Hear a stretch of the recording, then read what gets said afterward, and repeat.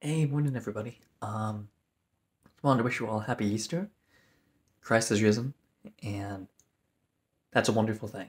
Um, I pray that you would all have a blessed day, and yeah, just enjoy, um, just enjoy the security that we have in Christ. God bless.